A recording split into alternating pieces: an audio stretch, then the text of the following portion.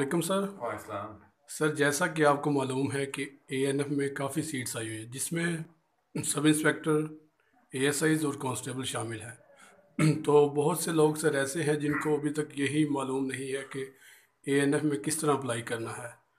तो kindly sir इस पर रोशनी डालिए कि किस तरह लोग अप्लाई करें और ताकि एएनएफ को ज्वाइन कर सकें।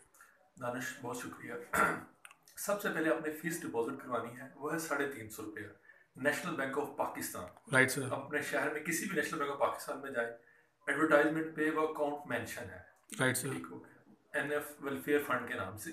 ठीक है उस अकाउंट में जाके साढ़े तीन सौ रुपये जमा करवा दें और वो स्लिप आप संभाल के रखें। राइट उसके बाद आप ऑनलाइन अप्लाई करें और जो आपका वो चलान होगी या रसीद उसके ऊपर जो नंबर होगा वो अपने ड्यूरिंग ऑनलाइन उसमें मेंशन करना है ड्यूरिंग ऑनलाइन अप्लाई राइट हो गया। हो गया। ये एक प्रोसेस है। उसके बाद जो दूसरा अगर आपने मैनुअल भेजना है तो मेंशन एड्रेस वहाँ पे आप भेज दें। उसमें भी रसीद की फ़ोटो कापी साथ रखें और जो एक्चुअल है वो रसीद वो संभाल के रखें। और जिस दिन हमने टेस्ट देने आना है वो रसीद आपने अपने साथ लेके आनी है इसके बगैर आपको अलाउ नहीं किया जाएगा। Right sir ji. और दूसरा एन एक बड़ी प्राइम लॉ एनफोर्समेंट एजेंसी है।